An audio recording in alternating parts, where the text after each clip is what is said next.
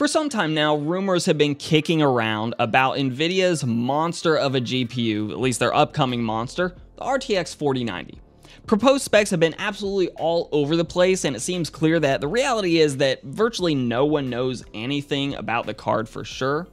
A couple of weeks ago, the YouTube channel Moore's Law is Dead link below by the way, reached out to his own contacts and quoted sources from within NVIDIA as saying that NVIDIA will have the 5090 ready for quarter four of 2024 but also that NVIDIA is waiting to see what AMD brings to the market in relation to their own upcoming RDNA 4 graphics cards.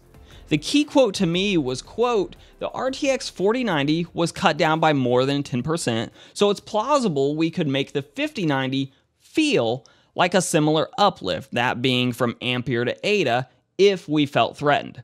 And what I love about this quote is that it lets us, the consumers, have a peek behind the curtain. And it lets us see exactly what goes into the decisions made by NVIDIA and, in all reality, the decisions made by other huge tech companies as well.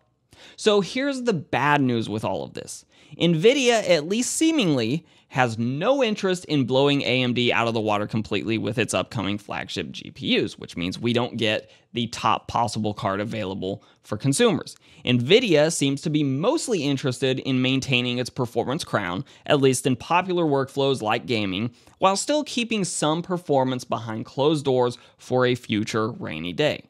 Which again, they've done in the past, no surprise there.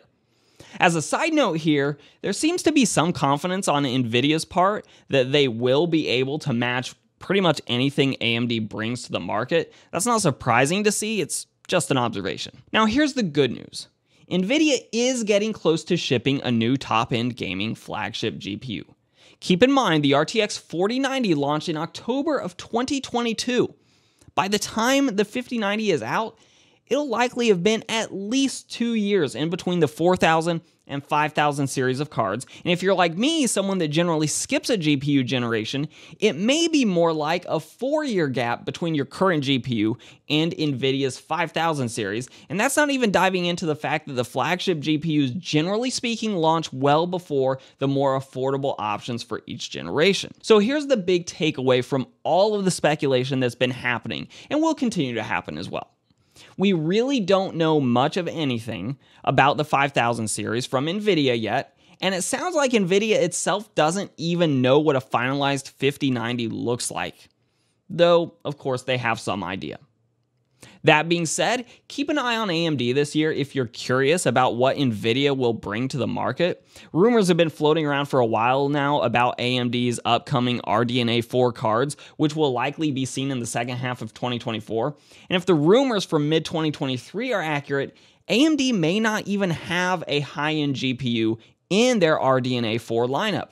And if that's the case, look for Nvidia to punt their 5090 launch all the way back into 2025, though probably early 2025, and possibly even nerf the card a little bit if AMD doesn't have a high end competitor at all.